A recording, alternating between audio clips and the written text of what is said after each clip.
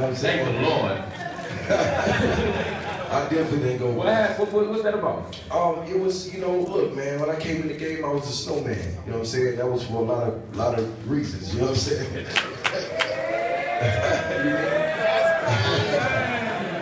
but but you know, nowadays I just feel like, you know, I'm somebody that's held to high regards and high standards and it's just like it's, it's